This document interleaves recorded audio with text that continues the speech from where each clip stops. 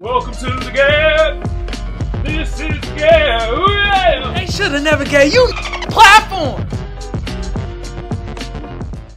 Y'all know what segment we about to get into. Ewers! We about to get into the SAF segment. And today, I gotta talk about this movie right here. It came out 2019, 2020, around that time. You feel me? And the movie is called Vivarium on Netflix. And I know, I know some of y'all is like, what the hell does Vivarium mean? I'm gonna look it up right now too, because I've been kind of wondering. And I don't know. It might not mean nothing. It might just be like a cool ass what you call it. Oh, here go right here. Vivarium, place of life, Latin.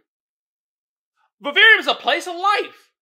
Okay, I'm gonna show y'all that. It's basically just uh Vivarium, Latin literally for a place of life, plural. Vivaria or Vivariums is an area usually enclosed for keeping and raising animals or plants for observation or research.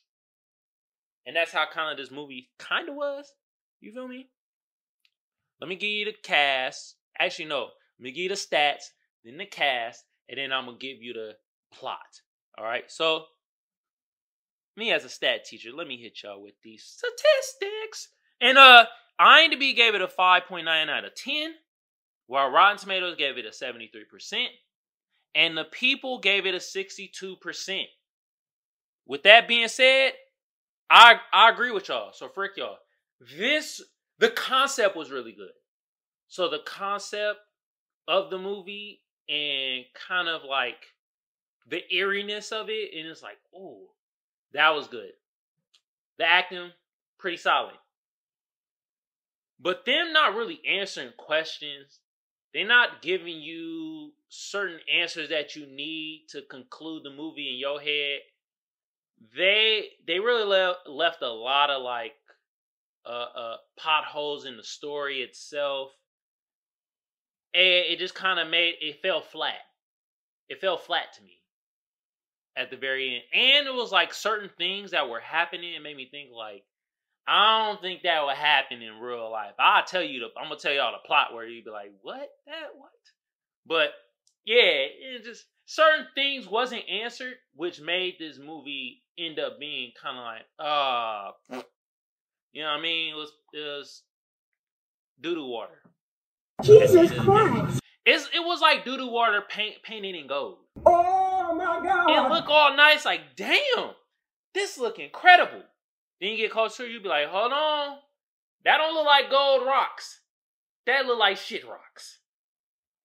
And then you get closer and closer, and you're like, ah, oh, this is a pile of shit. That's basically how Vivarium was.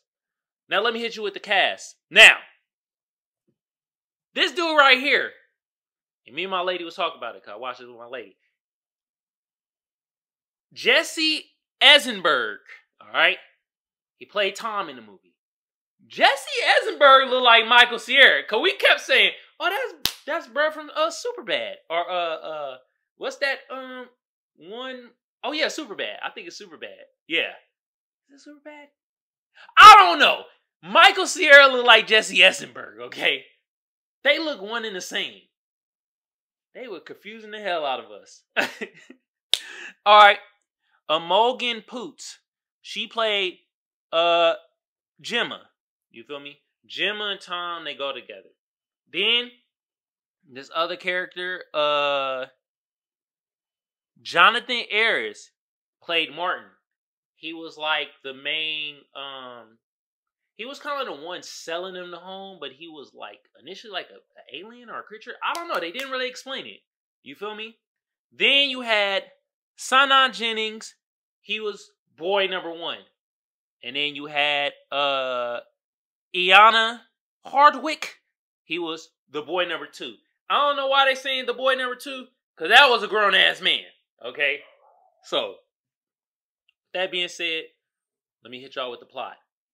The plot of this movie is basically this couple goes in, they're trying to buy a home, trying to get a home. They go into this weird ass like mortgage realtor spot, and it had the same homes on top of the blocks, right? And that was weird. See, if if it was me and my lady, you know, a black couple, we would have went in and been like, Nah, we we out of here. We would have left quickly. Movie wouldn't have never started. Okay. Like, is this is this white ignorance? Oh my God! Damn. Oh! But yeah, they come into the spot, bruh, and they see that, and then they see the realtor, and bruh, bruh all dressed up and all, you know what I mean? Uh, plain Jane, he looked like, um, how can I say this? Um, to me, it looked like a mortician without the suit jacket. You know, the mortician had the plain white button up with the plain skinny black tie with the. He looked like that. And the slick thing. And then they talked to him, and he was like, they were kind of Tom and Gemma at first was like, they were like, I don't know, this seemed kind of weird. This ain't spots. I don't know if we can afford it. Da da da. And bro was like, now let me take you over to the spot. So they're they're driving behind them and they're kind of talking like, bro, this ain't right, bro. I don't know. Then you hit the sign and it says something yonder where you can live here forever. Then they start rolling into the complex and all the houses look the same. I would have hit a U-E, never hit a turn, just hit a U U-turn. You know, I'm out of here.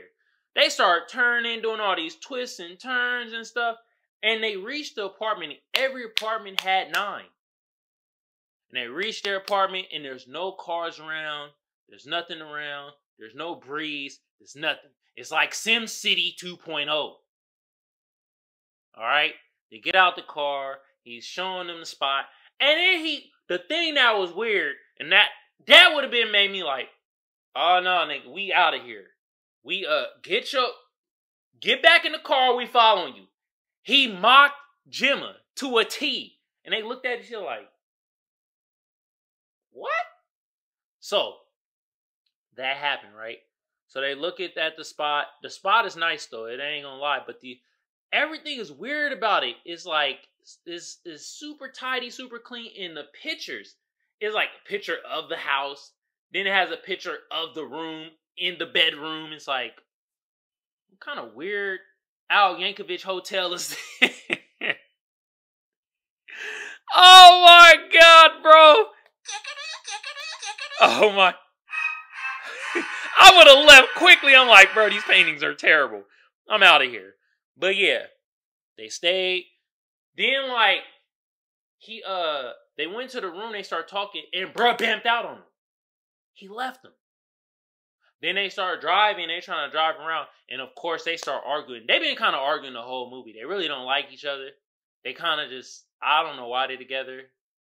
Um, cause they don't got a kid or nothing. They kind of that that was the real mystery. Why are they a couple?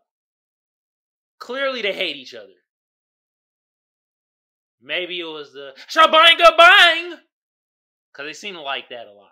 Anyway, they uh uh start driving around. Couldn't she was driving at first, and then I guess I guess uh, this would be I guess misogynistic. He basically would say, hmm, "You don't know where you're going. I'ma drive. Let me drive." Then he start driving, and they going around. They starting to lose their mind, and they land right in the number nine spot again. So they win an apartment. They uh they chilled in there. Then they got a box, a box of food that look all processed. They start living there. They's trying to figure ways to get out. They burn the goddamn house. The house comes back in the morning. They try to hop the fences. They keep hopping the fences, going in the same backyard. You feel me? And then what happens is a kid is dropped off, and they they basically was told, raise the kid, we'll release you. What they do? Become the worst parents ever, bruh. God damn, they ain't raising this kid right. And the thing about the kid is like he growing hella fast. At 90 days, bruh is already like 10. So in my head, I'm like, if they would have just properly raised the kid like the thing said, they probably would have been out in like six months. But instead, what happened? Bruh, Tom, he like smoked a cigarette, threw it on the little turf turf grass. It it was like a glitch in the system. But was it though? Because he started digging, and it seemed like he was digging his own grave. While the while the um while Emma uh, I say Emma, Gemma, she started losing her mind. And then the boy is like, he trying to learn, but he, the, the boy weird. It's, it's a creature. It's an alien. It's something. I don't know. And every time the the uh the boy wants something, he starts screaming. Ah! I'm like, man, I knew that. See, can't be raised by black people. Well, that discipline would have been quickly in there. Every time that boy would have, ah! oh, I can't hear. Right in the chest. Bow. Hey, stop that screaming. Or do it back to him.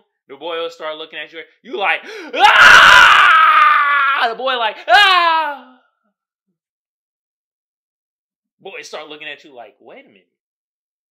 That's quite annoying. I don't like that.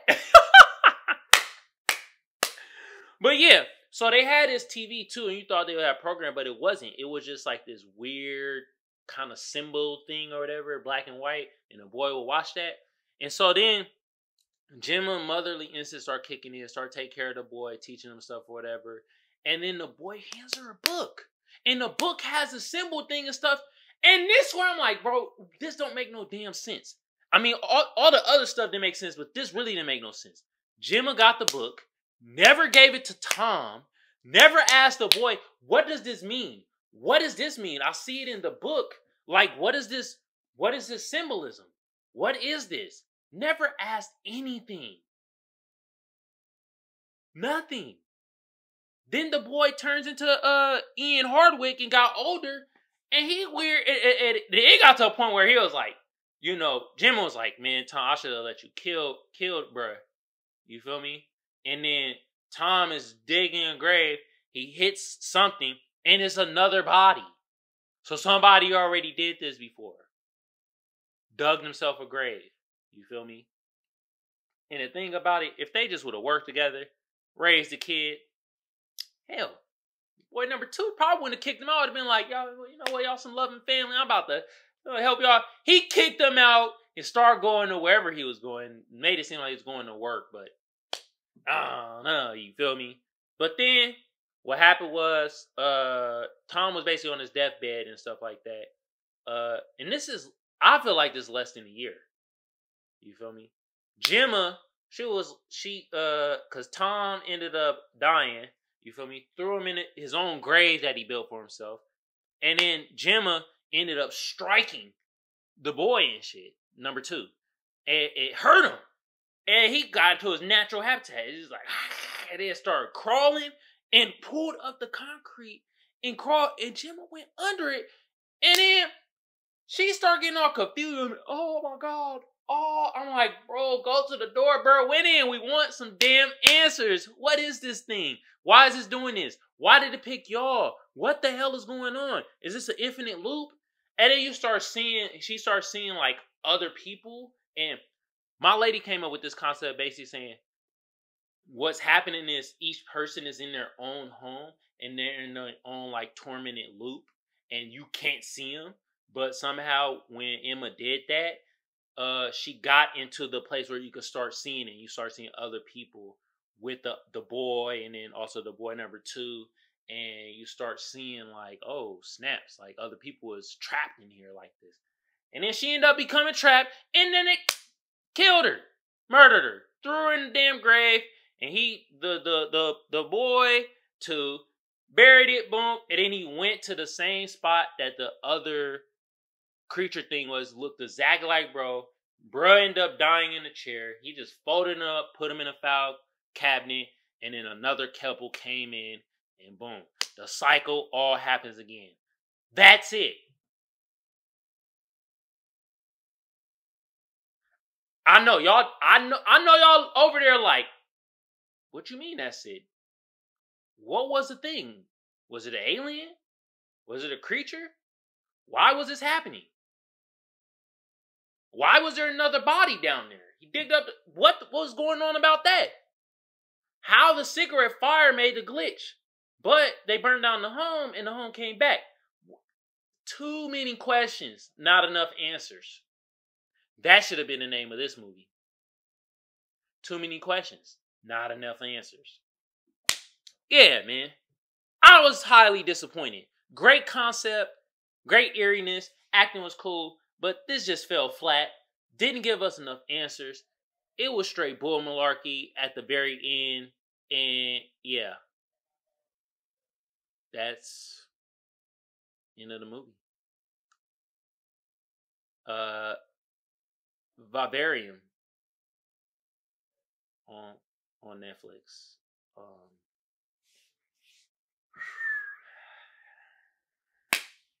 I guess I'm in a state of disillusion. I don't know what's going on. anyway,